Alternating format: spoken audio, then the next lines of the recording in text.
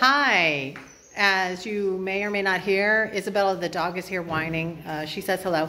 And I'm here with Peter. He arrived this week. Everybody say hi to Peter. Hi. We are so excited that he's here and we are just looking forward to the students coming. That's going to happen next week. Please keep that in prayer as they come. Uh, journeys, hearts be prepared. However God leads you to pray for them. Um, also, just when I think I'm done and ready for them to come, there's one more thing. So whatever the next one more thing is, if you could pray for that, that we could get it done and ready before they come here. And I'm here making the video today because this is where the library is going to go. If you can see the bricks on the floor, they've started to move them in.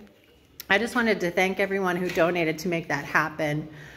Um, there are so many women already that are telling me they are excited that they're going to be able to have access to those books and they want to read books. So thank you guys. Um, if you haven't donated and you still want to, there are other projects coming up. Go ahead and make a donation and just send me a note that you want it for one of the projects.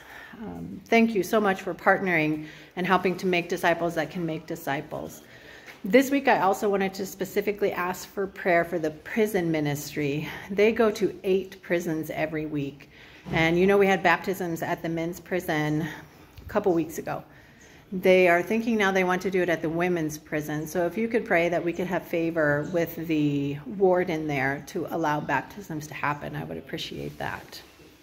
So that's it. That's what's going on. Thank you guys for coming on this journey with me, and I'll talk to you again next week. Bye.